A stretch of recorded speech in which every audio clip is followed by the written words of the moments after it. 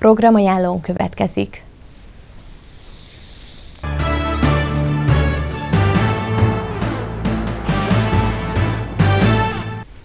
A Rock Café továbbra is dübörög, péntek este Ceffer bajnok Zádori, szombaton pedig Csákvári Laca ámplákt felel a jó hangulatért.